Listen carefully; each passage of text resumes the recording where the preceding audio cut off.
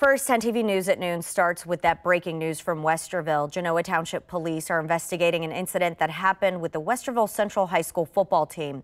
Thank you for joining us at noon. I'm Karina Nova. Here's what we know so far. Genoa Township Police posted on their Facebook page around 10 this morning. Investigators say someone who's on the team says they were all in the locker room when he was knocked to the ground. That's when multiple players kicked him while one player possibly assaulted him in a sexual manner, this report says this all happened on August 9th, which was last Monday. The police chief released a statement saying they're conducting dozens of interviews. He says he's also working with the Delaware County Prosecutor's Office. He says once the investigation is complete, he'll forward any criminal charges.